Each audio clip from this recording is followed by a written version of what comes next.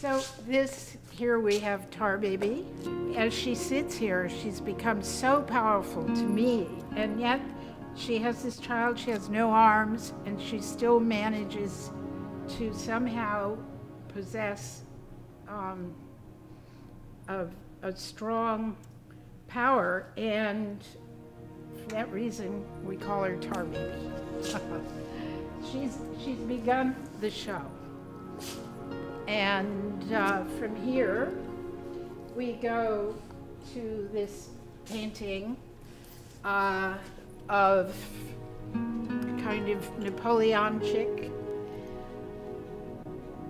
teaching whatever it is he has in his head to her. This is what it is for me. But of course, it's the eye of the beholder. And I leave it to your eye.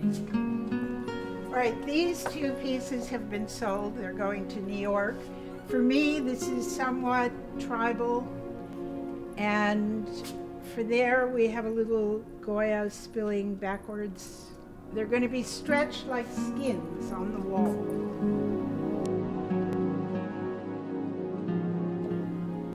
Okay, this is a quick painting that belongs to Calypso, of Calypso with Ulysses, which kind of somewhat was her is her father Charles, with her grandmother's legs. At any rate, and a bit of Sicily with the Italian horses from St. Mark's Place, and of course we can't leave out the Greek flag.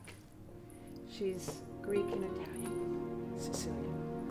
And here we have the pieces, the triptych I did on the juvenile justice system. We had 219 juveniles on death row, 22 were actually executed.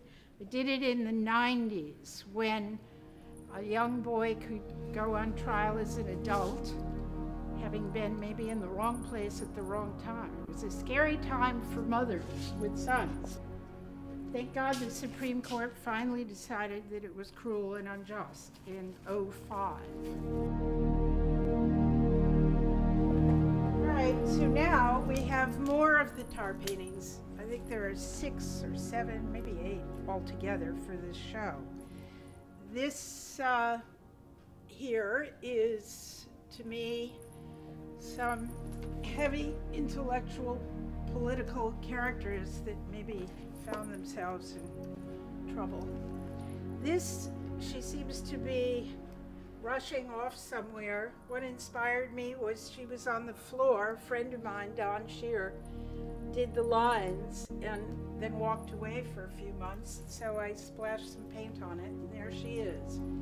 I went to the Academy of Fine Arts in Philadelphia, and this is uh, also tar that's been resined.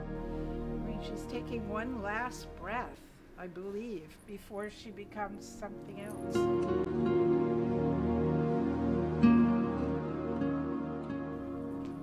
Okay, now we're kind of in the depths of the studio. As you can see, here's my trusty can of tar. These paintings are being worked on. This uh, had a kind of got caught up in Wall Street. I thought it was kind of Occupy Wall Street.